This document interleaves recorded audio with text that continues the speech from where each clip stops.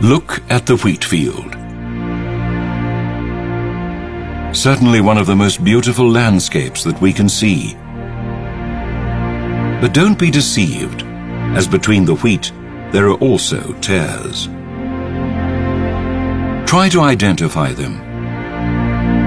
With the naked eye it is almost impossible, as its appearance during growth is the same as the wheat. That is why the Lord Jesus, in this parable, taught his disciples that only with time will each one show their true identity.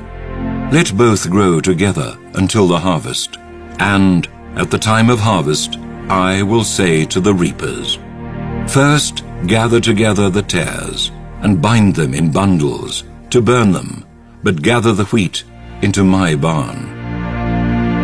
And that is how the difference becomes obvious.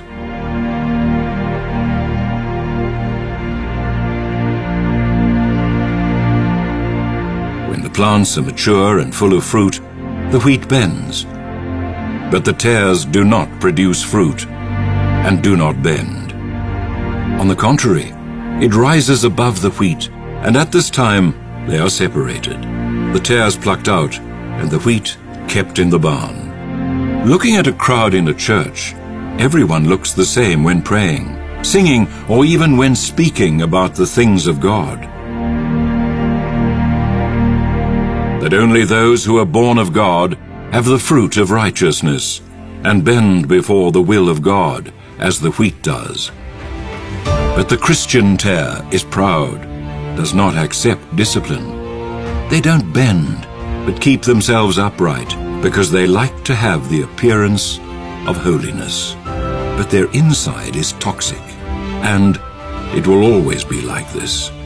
Where the wheat is there will be the tare, also to create confusion and poison, and if possible, to uproot the wheat so that it is thrown into the fire.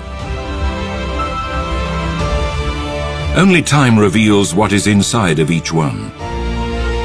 It is during the time of battles in the desert when we are shaken and crushed that we show what is in us. If we are wheat, the fruit will appear and remain.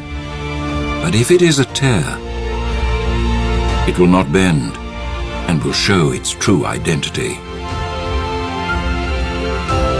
I always used to ask, why those who are dishonest have the same or even better results as those who practice what is right? And today, I understand. According to the parable, the good and the bad can even look the same for some time. The time itself will reveal them.